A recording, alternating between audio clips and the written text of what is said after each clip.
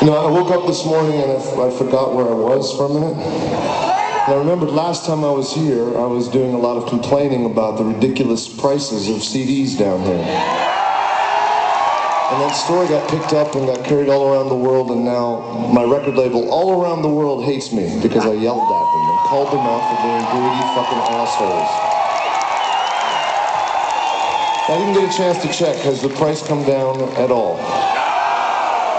I see a no, a no, a no, a no. Anybody, has, has anyone seen the price come down? Okay. Well, you know what that means. Steal it. Steal away.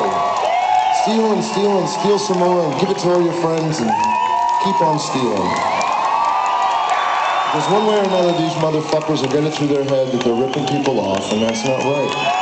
I don't know if most people have seen long form contracts. They're insane, and there's all these little these little things thrown in. It's kind of like legislating, you know, legislature for a government. They put up this big issue, but underneath that issue, there's like 17 other little laws that they threw in that they're not talking about. So when you say yes to this one thing, you're actually saying yes to like 45 other things. There's there's a worse one. They used to have damage fees with digital downloads. Digital downloads, like at first they were doing that, like they just trying to get away with murder, you know, just like let's leave it in there, let's see if the lawyer sees it, kind of thing. Uh, I wasn't really taking large advances from the recording companies. I was recording the albums myself in my own studio. So the way I looked at it, I owned the work because I paid for it. And I did all the work. I created it, so I felt like it should belong to me. That said, the um, companies felt otherwise. And they would always hold this contract up and say, well, you signed it. And I say, well, I understand that. It's not like I want to leave. I just want to, you know, talk about this thing and see if we can't make it more fair. Of course, they wouldn't change because if they changed, they wouldn't really exist. It shouldn't be a situation where they own the album or the work. It's a, we're talking about intellectual copyright. If they're going to be indeed a delivery service, then that's fine. But even FedEx doesn't say that they own the thing that they ship. The craziest rock and roll story uh, is about you. Basically, you move on, you got a solo career going, it's going well, you got this song Old Man Down the Road, and all of a sudden you're sued for ripping off Run Through the Jungle, which you obviously wrote and, and arranged. Right. How did you make it through that? Well, the. Um Right, just because so obviously you didn't, you, you, didn't own the, the, the rights to run through the jungle anymore, and that's why they well, felt I like never that. Owned. That yeah. contract we signed was actually before I had written any of the songs, so yeah. they came into being not in my ownership ever. Saul owned all the songs that I wrote during the Creedence era. Saul was suing me owning the old song and wanted to own my new song, "Old Man Down the Road," um, trying to claim that it was uh, the same song. And it, it, was all BS, of course. Right. In my right. humble opinion, that that that's a bad person. He had to sue you over that. That that's and the worst amazing. part of that was sitting in the courtroom when Saul was on the stand. Yeah. My lawyer asked him.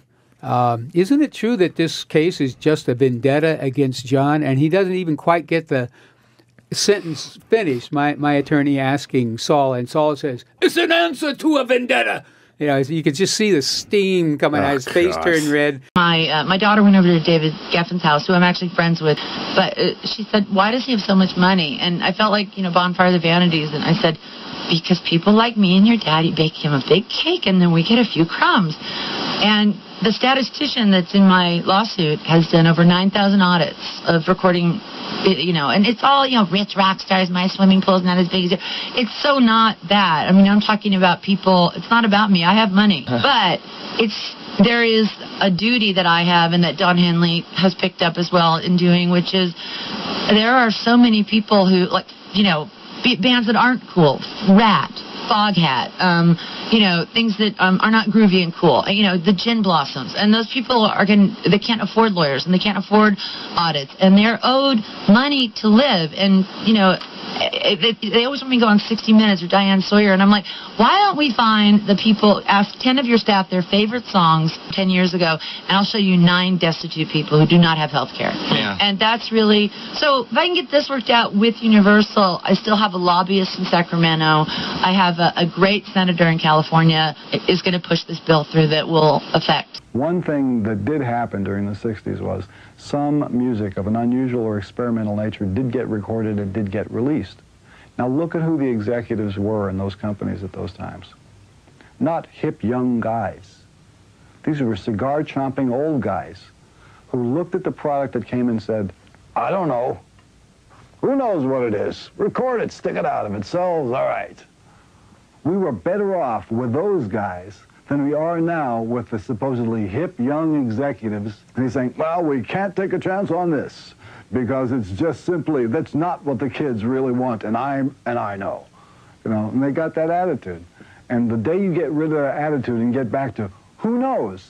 Take a chance, you know, that, that entrepreneurial spirit where even if you don't like or understand what the record is that's coming in the door, the person who is in the executive chair may not be the final arbiter of taste of the entire population. It's just a misunderstanding that we're trying to sort out, that's all. Like, we, we took something differently than they say they meant it, so we're just to see how they feel about it and move on from there. People blew it out of proportion, like, people were like, oh, well, this happened today, or this is being announced. It was never supposed to be announced. It, it was public record. It's not a big deal. It's just like a, hey, we think this, they don't agree. So that's all it is. Like, regardless of where the record comes out, it comes out. Like that's, that's, that's our main focus. We're just gonna write music, play music, and we will have a new record out in 2012. So it doesn't really matter to us. Whatever happens, happens. This article in the Rolling Stone here, where uh, didn't this go on and on about whether or not the record's going to sell for 9.98 or 8.98? Why Yeah. why get involved with the pricing of albums? Many people don't understand why an artist would do Lately, I asked myself this Yes, question. why do lot. that? Yeah.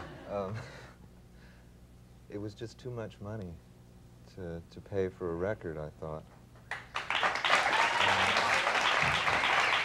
Um, uh, I used to buy albums when they were three dollars. Me too. You know, in mono, and uh, it wasn't as big a deal, I think, as the press has made it.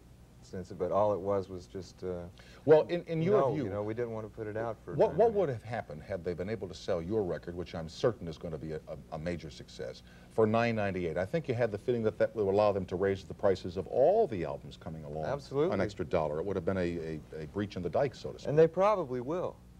But this was just very pleasing to me because it was one situation where the audience actually won an issue, Mhm. which I think uh, our record company shouldn't, they should be applauded on one hand, I think, for being big enough to kind of bend to the public opinion because they, I didn't expect them to, quite honestly.